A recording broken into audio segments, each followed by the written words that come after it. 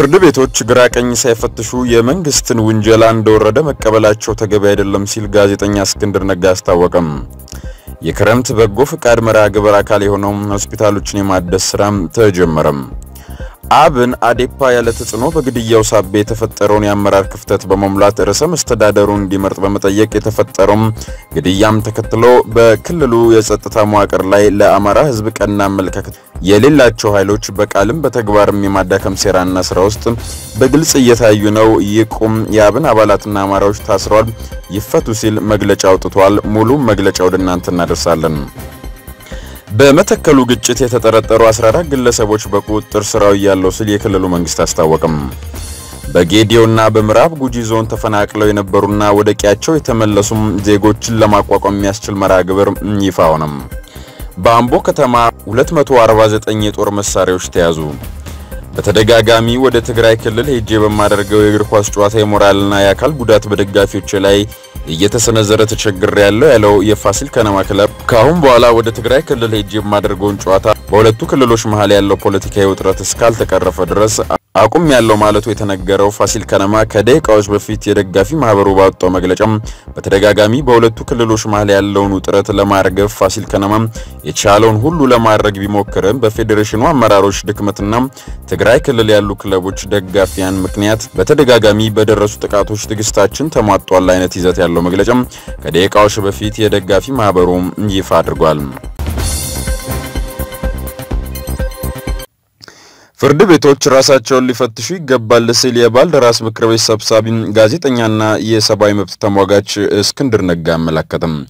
ጋዜጠኛው ይህን የተናገረው የባልደራስ ዋና ጸሐፊ ጋዜጠኛ ኤልያስ ገብሩና የበረራ ጋዜጣ እንዲሁም የአስራት ቴሌቪዥን ጋዜጠኛ በሪሁን መታሰራቸውን ተከትሎ ነው። ጋዜጠኛ ኤልያስ ገብሩም ለእስር የበቃውን ፖሊስ ባህር ዳር ተሞከረ ከተባለው መፈንቅለ መንግስት ጋር በተያያዘም በሽብር ጠርጥሬ ያለው በማለቱ ነው ሲል እስክንድር ለዶሽቬሌ ገልጿል። ባህር ዳር ላይ የተከሰተው ሙሉ ለሙሉ የኢህአዴግ የውስጥ ጉዳይ መሆኑን ያመላከተው እስክንድር ነጋ ጋዜጠኞችም ሆኑም የባለደራው ምክር ቤት የአማራ ብሔራዊ ንቅናቄ ማለትም አብንም ሆነ እንዲሁም በመንግስት ላይ ሰላማዊ ተቃውሞ የሚያነሱ ከባህር ዳሩ ክስተት ጋር ግንኙነት የላቸውም ብሏል። በዚህ ሰበብ ሰላማዊ ተፈናቃዮች እየታሰሩ እየታደኑና እየተንገላቱ ነው ሲልም ጋዜጠኛ እስክንድር ነጋ ተናግሯል። በየእስር ቤቱ የተያዙበትም ሁኔታ እጅግ የሚያሳዝን ነው። ከህወሓት ዘመን የሚብስ እንጂ የሚስተካከል አይደለም። ወንድሞቻችን እጅግ አስቸጋሪ በሆነ ሁኔታ ላይ ነው የሚገኙት። እጅግ ጠባብ በሆነ ምንም ብርሃን በሌለበት ጨለማና ቀዝቃዛ ክፍል ከፈነዳ መጸዳጃ ቤት የሚወጣ ሽታ እየተነፈሱም ኢሰብአዊ በሆነ ሁኔታ ነው የሚገኙት ሲልም ታሳሪዎቹ ይገኙበታል የተባሉ ሁኔታ ዘርዝሯል።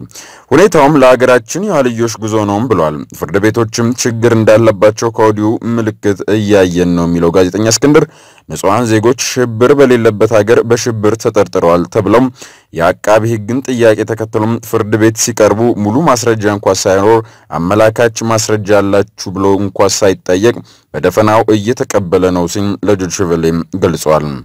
ፍርድ ቤቶች በአንድ ዓመት ውስጥ መለወጥ ነበረባቸው የሚለው ጋዜጠኛ እስክንድር ነጋ የመንግስትን ጥያቄ በደፈናው መቀበል አይገባቸውም ነበር፣ ነጻነታቸውን በዚህ አጋጣሚ ማሳየት ይገባቸው ነበር።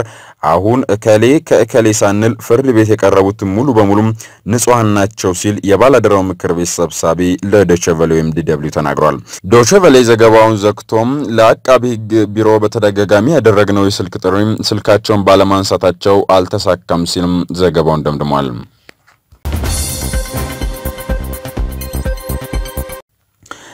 ኢንጂነር ታከለ ኡማ ከጤና ጥበቃ ሚኒስትር ዶክተር አሚን አማን ጋር በመሆን የጥቁር አንበሳ ሁለተኛ ደረጃ ትምህርት ቤት የእድሳት በዛሬው ዕለት አስጀምሯል።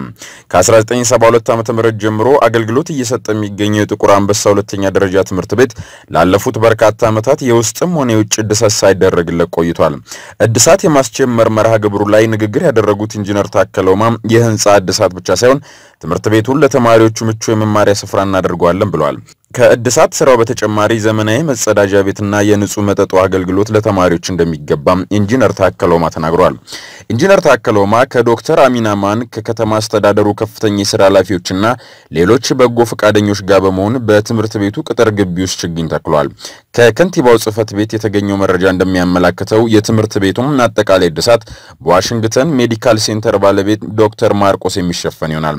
የአዲስ አበባ ከተማ አስተዳደር በከተማዋ ውስጥ ያሉ 488 የመንግስት ትምህርት ቤቶች እድሳት ለማካሄድ እየሰራ እንደሆነ ይታወቃል።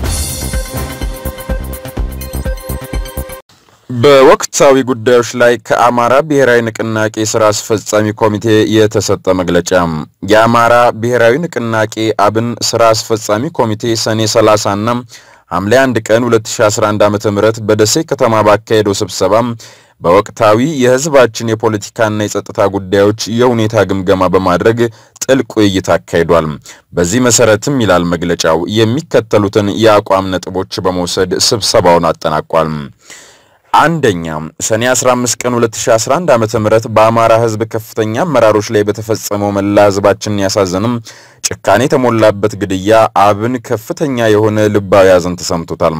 የተፈጸመውን ግድያም በከፍተኛ ሁኔታ እያወገዘ ይሄን ወንጀል ያቀዱም ያቀነባበሩም ያስፈጸሙና የፈጸሙ አካላትን ከፖለቲካ ወገንተኝነት በጸዳ ሁኔታ በቁጥጥር ስር በማዋል ለፍርድ እንዲቀርቡ መንግስት በከፍተኛ ኃላፊነት ስሜት እንዲወጣ የአማራ ብሔራዊ ንቅናቄ ይጠይቃል ይላል መግለጫው። ሲቀጥልም በዚህ አጋጣሚ በዚህ ክስተት ላጣናቸው ወንድሞቻችን፣ ቤተሰቦቻችንና ለመላው ህዝባችን እንዲሁም ለአማራ ዴሞክራሲያዊ ፓርቲ አመራሮች፣ አባላትና ደጋፊዎች መጽናናትን እንመኛለን። ሁለተኛ የአማራ ክልላዊ መንግስትና ገዢው የአማራ ዴሞክራሲያዊ ፓርቲ በተፈጠረው ግድያ የተነሳ የተፈጠረውን የአመራር ክፍተት ለመሸፈን ከየትኛውም አካል ተጽዕኖ በጸዳ ሁኔታ መሪዎችን እንዲሰይም ከዚህ ጋር ተያያዥ የሆኑ ዥንብሮችንም እንዲያጠራ እንጠይቃለን። ሶስተኛ የተፈጠረውን ግድያ ተከትሎ በክልሉ የጸጥታ መዋቅር ላይ ለአማራ ህዝብ ቀና አመለካከት የሌላቸው ኃይሎች በቃልም በተግባርም የማዳከም ሴራና ስራ ውስጥ በግልጽ እየታዩ ነው። ጉዳዩ ከህዝባችን ህልውና ጋር በቀጥታ የተያዘ በመሆኑ ህዝባችንን በከፍተኛ ሁኔታ ለቁጣ ያነሳሳ ሆኗል። የአማራ ብሔራዊ ንቅናቄንም በከፍተኛ ሁኔታ አሳስቦታል። ስለሆነም አጋጣሚውን በመጠቀም የአማራን ህዝብ ለማንበርከክ የሚፈልጉ ኃይሎች ሁሉም ከድርጊታቸው እንዲቆጠቡ እያሳሰብን በዚህ ሂደት ውስጥ ያለ አግባብ የተያዙ የጸጥታ አመራሮችና አካላት ካሉ በአስቸኳይ ተለቀው ወደ መደበኛ ስራቸው እንዲመለሱ እንጠይቃለን። የክልሉ ልዩ ልዩ የጸጥታ ዘርፍ አመራሮችና አባላትም ከመቼውም ጊዜ በላቀ ሁኔታ የህዝባችንን አንድነትና ደህንነት ለማስጠበቅ እንደሰሩ እየጠየቅን በየደረጃው ያሉ የንቅናቄያችን አመራሮችና አባላትም በሚፈለገው ትብብር ሁሉም ከጎናችሁ መሆናችን እናረጋግጣለን ይላል። አራተኛ የሃይማኖት አባቶች፣ የአገር ሽማግሌዎች፣ ምሁራን፣ የማህበረሰብ አንቂዎች፣ ወጣቶች ባለሀብቶችና የፖለቲካ ኃይሎች በዚህ ፈታኝ ወቅት የህዝባችንን አንድነትና ሰላም በመጠበቅ የመፍትሄ ሀሳቦችን በማመንጨት እንዲሁም ከምንጊዜውም በተሻለ ሁኔታ በመከባበርና በመደማመጥ ህዝባችን ወደፊት ለማራመድ እንድንሰራ የአማራ ብሔራዊ ንቅናቄ ጥሪን ያስተላልፋል። በዚህ አጋጣሚ የህዝባችንን አንድነትና የአብሮነት እሴት የሚሸረሽሩ ድርጊቶች ላይ የምትሳተፉ አካላት ከዚህ እኩይ ድርጊታችሁ እንድትታቀቡ እናሳስባለን። መሰል እኩይ ተግባራትን የሚፈጽሙ አካላትን ከላይ በስም የጠቀስናቸው ወሳኝ የህብረተሰብ ክፍሎችና መላው ህዝባችን እንዲታገላቸውም ጥሪ እናቀርባለን። አምስተኛ የህዝባችንን ሰላምና ደህንነት ለማስጠበቅ እንዲሁም የህግ የበላይነትን ለማረጋገጥ ክልሉ መንግስትና ገዢው ፓርቲ አዴፓ የሚያደርጉትን ጥረት የአማራ ብሔራዊ ንቅናቄ የሚያግዝና አብሮ የሚሰራ መሆኑን እናስታውቃለን። በዚህ አጋጣሚ የህዝባችን ሰላምና መረጋጋት የሚረብሹ ማንኛውም እንቅስቃሴ ህዝባችን እንዳይተባበር እና የአማራ ጠል ኃይሎች ፍላጎት ሊያሳኩ ከሚችሉ እንቅስቃሴዎች በሙሉም ራሳችንን እንድንቆጥብ አደራ እንላለን። ስድስተኛ የተፈጠረውን አጋጣሚ በመጠቀም በአዲስ አበባ ከተማ አስተዳደር በኦሮሚያ ክልልና በቤንሻንጉል ጉሙዝ ክልል በንቅናቄያችን አመራሮች አባላት የአስራት ሚዲያ ጋዜጠኞች፣ የአዲስ አበባ ባላደራ ምክር ቤት አመራሮች በመንግስት አሰራሮች የሰላ ትችትና ጥያቄ ያቀረቡ ግለሰቦችና የነቁ አማሮች ላይ የተካሄደው ጅምላ ፈሳና ስር እንዲሁ በእስር ላይ እየተፈጸመም ያለው ኢሰብአዊ አያያዝ እንዲቆም በጥብቅ እያወገዝን በአስቸኳይ እንዲለቀቁ ጥሪ እናቀርባለን ይላል መግለጫው። በሰብአዊ መብት መከበር ላይ የምትሰሩ አገር በቀልና ዓለም አቀፍ ተቋማትም ተገቢውን ግፊት እንድታደርጉም እንጠይቃለን። በመጨረሻም በየደረጃው ያላችሁ የንቅናቄያችን አመራሮች፣ መላው አባላቶቻችንና ደጋፊዎቻችን በዚህ ፈታኝ ወቅት ህዝባችን ወደፊት ለማራመድ በንቅናቄያችን ላይ የተጣለው ታሪካዊ ኃላፊነት ከፍተኛ መሆኑን በመገንዘብ ለህዝባችን በሚጠበቅብን ልክ ሆነን መገኘትና የሚመጥን አመራር መስጠት ይጠበቅብናል።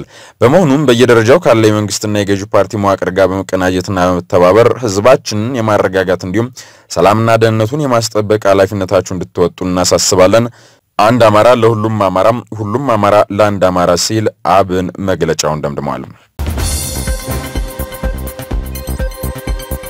የኢትዮጵያ ፕሪሚየር ሊግ መጠናቀቅን ተከትሎ ከፋሲል ከነማ ደጋፊዎች ማህበር በተሰጠው መግለጫም የክለቡ ያደረጋቸው መልካም ድርጊቶችን በማንሳት ጀምሮም ያጋጠሙ ችግሮች ግን ክለቡን የማይመጥን ነው ብለዋል። መግለጫው አያይዘውም በመጨረሻው ጨዋታ ሽሬ ላይ የፌዴሬሽኑ ከፍተኛ አመራሮች በተገኙበት የሻምፒዮን ጨዋታ የተከሰተው ከዳኛ ውሳኔ እስከ ህዝቡም ልክ ያጣ በቃላት የማይገለጽ ከአንድ ኢትዮጵያ የፈጽመው የማይጠበቅ ድርጊት ደጋፊዎቻችን ብቻ ሳይሆን በቦታው የታደሙትን እግር ኳስ አፍቃሪ ተስፋ የሚያስቆርጥ ድርጊት ነበር ብለዋል። ከጨዋታው መገባደድ በኋላ የመከላከያ አባላት ያደረጉት ትብብር አድንቀዋል።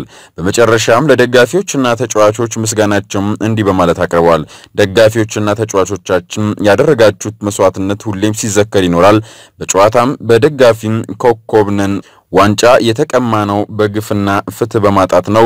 ይህንንም ያደረጉ አካላት ጥርስ በሌለው አንበሳ ፌዴሬሽን ፍትህ እናገኛለን ብለን አናምንም። ነገር ግን ዛሬ ማክሰኞ ሐምሌ ሁለት ቀን የክለቡ የቦርድ አባላትና ደጋፊ ማህበሩ ከደጋፊዎች ጋር በመወያየት በዓመቱም የተፈጸመበትን ደባ ተከትሎ የመፍትሄ ውሳኔዎች እንደሚያሳርም ከወዲሁ ለመግለጽ እንወዳለን ይላል። በተያያዘ ዜና የኢትዮጵያ እግር ኳስ ፌዴሬሽን የሚቀጥለው ዓመት የክለቦች ስያሜን አስመልክቶ በሰጠው መግለጫ እንዲህ ብሏል። ስያሜያቸው ብሔር ተኮር የሆኑ የእግር ኳስ ክለቦች ከቀጣዩ ዓመት ጀምሮ ስያሜያቸውን እንዲያስተካክሉ ይደረጋል። የፌዴሬሽኑ የኮሚኒኬሽን ዳይሬክተር አቶ ባህሩ ጥላውን ከቪኦኤ አማርኛ ጋር ባደረጉት ቆይታ ስያሜያቸው ብሔር ተኮር የሆኑ ክለቦች ከሚቀጥለው ዓመት ውድድር በኋላ ስያሜያቸውን እንዲያስተካክሉ እንደሚደረግና ተጨማሪ ማሻሻያዎችም እንደሚከናወኑ አስታውቀዋል። ፌዴሬሽኑ የእግር ኳስ ሜዳዎች ውስጥ ጠብ የማይቆም ከሆነም ጨዋታዎች ካለ ተመልካች እንዲካሄዱ የሚያደርግ እርምጃም ሊወሰድ እንደሚችል አክለው አቶ ባህሩም ገልጸዋል። በቤንሻንጉል ጉሙዝ ክልል መተከል ዞን ማንዱራ ወረዳ ሰሞኑን ከተከሰተው ግጭት ጋር በተያያዘ 14 ተጠርጣሪዎች በቁጥጥር ስር መዋላቸውን የክልሉ ሰላም ግንባታና ጸጥታ ቢሮ ገለጸም። በማንዱራ ወረዳ ገነተ ማርያም ቀበሌ ተከስቶ በነበረው ግጭት የሰው ሕይወት ማለፉ ይታወሳል። ከግጭቱ ጋር ተያይዞ በግድያና በማስተባበር ተሳታፊ ናቸው ተብለው የተጠረጠሩ 14 ሰዎች በቁጥጥር ስር መዋላቸውን የክልሉ ሰላም ግንባታና ጸጥታ ቢሮ ኃላፊ አቶ አበራ ባየታ ተናግረዋል። የጸጥታ ኃይሉ እያደረገ ባለው ክትትል ከተጠርጣሪዎች ጋር በርካታ ቀስቶችና አንድ የጦር መሳሪያ በቁጥጥር ስር መዋሉም ተገልጿል። የአካባቢውን የጸጥታ ችግር ወደ ነበረበት ሁኔታ ለመመለስ የክልሉ የጸጥታ ኃይል፣ የመከላከያ ሰራዊትና የፌዴራል ፖሊስ አመራሩም በጋራ እየሰሩ መሆኑም ተጠቅሷል። ህብረተሰቡ ከጸጥታ ኃይሉ ጎን በመቆም የአካባቢው ሰላም ለመመለስ ተባባሪ እንዲሆን አቶ አበራ ጠይቋል። የአካባቢውን ሰላም አስተማማኝ ለማድረግ የሚደረገው ጥረት ተጠናክሮ የሚቀጥል ሲሆን ግጭቱን በማባባስና በማስተባበር የተሳተፉ አካላትን በቁጥጥር ስር የመዋል ስራው ተጠናክሮ እንደሚቀጥል ኃላፊው መግለጻቸውም ከክልሉ የመንግስት ኮሚኒኬሽን ጉዳዮች ጽህፈት ቤት የተገኘው መረጃ ያመለክታል።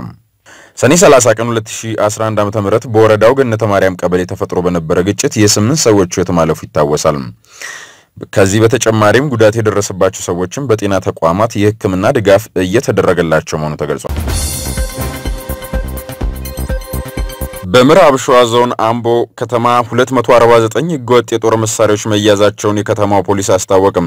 የከተማው ፖሊስ አዛዥ ኮማንደር ጉተን ሌሊሳ እንደገለጹት ሰሞኑን በመኖሪያ ቤትና በኬላ ላይ በተደረገ ፍተሻ ነው ህገወጥ የጦር መሳሪያዎቹ በቁጥጥር ስር ያሉት። በተደረገው ፍተሻም 138 ጠመንጃዎች፣ 76 ሽጉጦችና 35 ጩቤዎች የተያዙ ሲሆን በተጨማሪም ዘጠና የሺሻ ዕቃዎች መያዛቸውን ተናግረዋል። ኮማንደር ጉተን እንዳሉት መሳሪያዎቹ ሊያዙ የቻሉት ከህብረተሰቡ በደረሰ ጥቆማና በተደረገ ክትትል ነው።